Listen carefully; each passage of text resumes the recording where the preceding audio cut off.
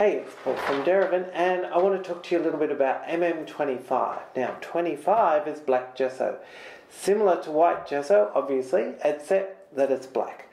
I love to use black gesso because it gives us me an immediate reaction to really bright colours, and I like to paint bright, so we get that reaction and that bounce from the surface. So let's have a little play.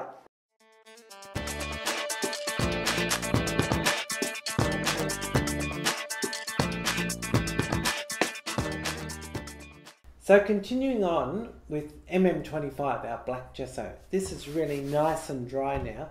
Now, the beauty of this is that if we use some really nice bright colours, they're going to start to pop straight away.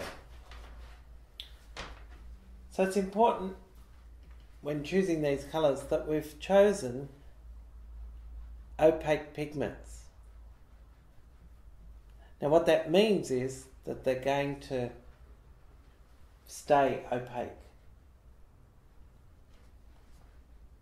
And give us the most impact